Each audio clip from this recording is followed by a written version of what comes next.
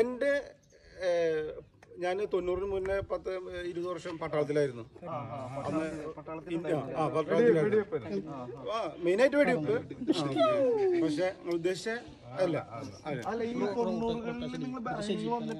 അല്ലല്ല അതിന് മുന്നേ. ആ മുപ്പത്തഞ്ച് ഞാൻ മുപ്പത്തഞ്ച് വയസ്സിൽ പത്തൊമ്പതായി കാണും. അടുത്ത ചിങ്ങത്തിലേക്ക് ഇരുപത്തിയേഴ് വയസ്സ്.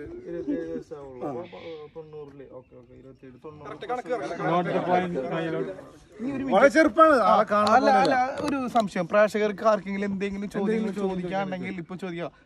ആർ- ആർക്കെങ്കിലും നമ്മൾ സദ്യ കഴിക്കുമ്പോ ഓസിക്കാണ് കഴിച്ചത് പൈസ കൊടുത്തിട്ടാണ് കഴിച്ചത്. അല്ല കല്യാണം കല്യാണത്തിലല്ലേ? Hey mister. കല്യാണത്തിനാണ് നല്ലതായിരിക്കൂലേ ഇത്ര വിഡ്ഢിത്തരമായ ചോദ്യങ്ങൾ അങ്ങനെ ഈ സീനായി അടിയായി അങ്ങനെ അവിടുന്ന് ഗംഭീര അടി പായസത്തിന്റെ പാത്രത്തിട്ടും അടിയും ഒക്കെ. ഇപ്പൊ പുള്ളി വിചാരിച്ച് ഇത് കല്യാണത്തിന് സംഭവിക്കുന്ന ഒരു ഫംഗ്ഷൻ അങ്ങനെ ആ. അപ്പൊ ഈ അടി നടക്കേണ്ട അപ്പുറത്ത് പഴക്കൊല സാർ ഒരു ഡൗട്ട് ഉണ്ട്.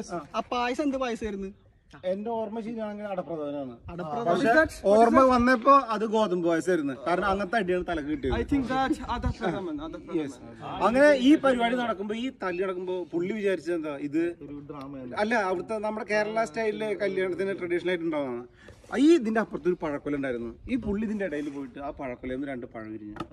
ആ ഈ പഴം ഉരിയലും അല്ല ഏത് പഴമാണ് ഒരുങ്ങിയത് അത് ഞാലിപ്പോയിനായിരുന്നു. എന്റെ ഓർമ്മ ശരിയാണെങ്കിൽ ഞാലിപ്പോയിനായിരുന്നു.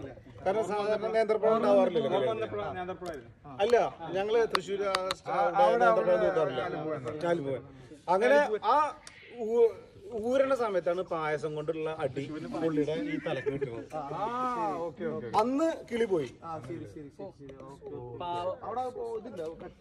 ഇല്ലില്ല അന്ന് ഇല്ല അന്ന് പിന്നെ ഞാൻ കുറച്ച് മഞ്ഞൾപ്പൊടി ഇതൊക്കെ ഇട്ടിട്ട് ആളെ സെറ്റാക്കി ആളെ സെറ്റാക്കി ആളെ അതിനുശേഷം പുള്ളി നാട്ടിൽ പോയിട്ട്